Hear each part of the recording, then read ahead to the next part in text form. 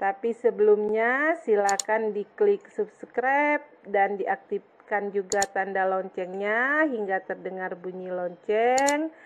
Jangan lupa di like dan di share di media-media sosial. Terima kasih.